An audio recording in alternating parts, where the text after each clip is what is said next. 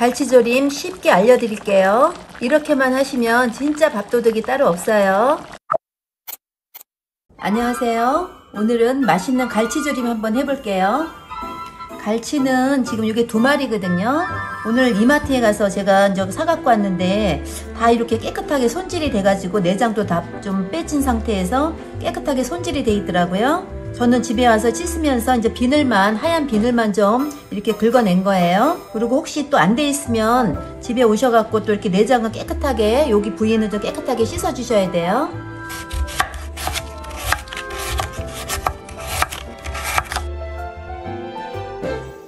지금 물을 요 300g이거든요. 제가 이렇게 좀 한 1cm 정도로 해서 썰었어요. 여기 바닥에 이제 먼저 깔아줄 거예요.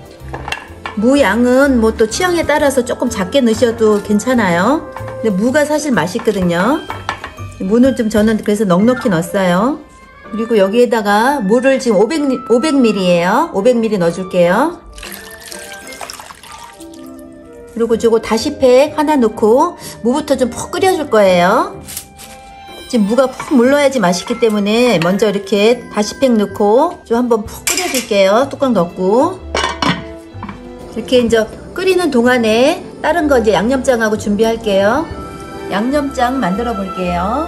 마늘 듬뿍 한 스푼, 생강 한 작은 술, 고춧가루 3스푼, 간장 3스푼, 맛술 3스푼, 참치액 2스푼, 물엿 2스푼, 고추장 1스푼, 후추 반 작은 술 이렇게 해서 잘 저어줄게요.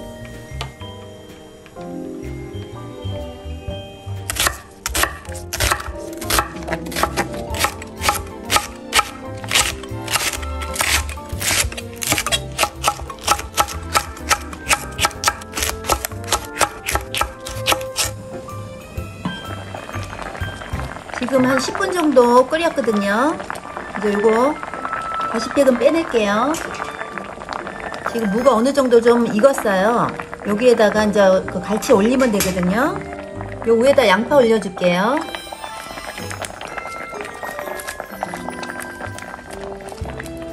이제 갈치 올려줄게요.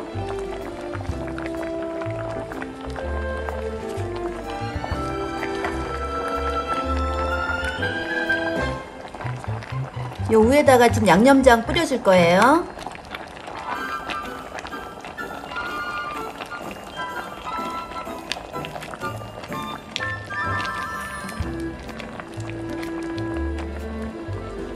그리고 지금 아까 썰어 놓은 고추 넣어줄게요. 위에다.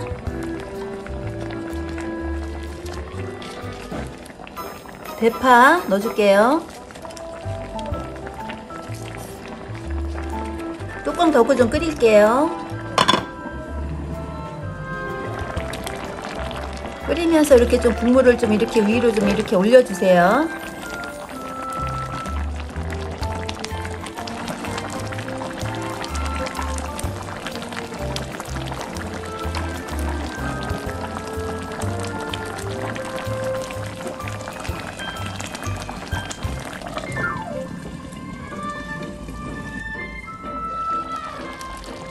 아주 맛있게 잘 끓고 있네요. 갈치 넣고 한 15분 정도 끓였거든요. 이 정도 하면은 아주 적당하게 잘 된 것 같아요. 그러니까 국물이 또 너무 없어도 그렇고 너무 많아도 안 되거든요. 이 정도가 딱 좀 끼얹어 가면서 먹기 좋아요. 아주 맛있게 잘 완성이 됐네요.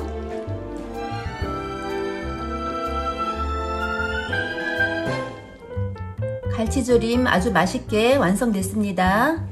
잊지 않도록 구독하시고 맛있게 만들어 드세요. 감사합니다.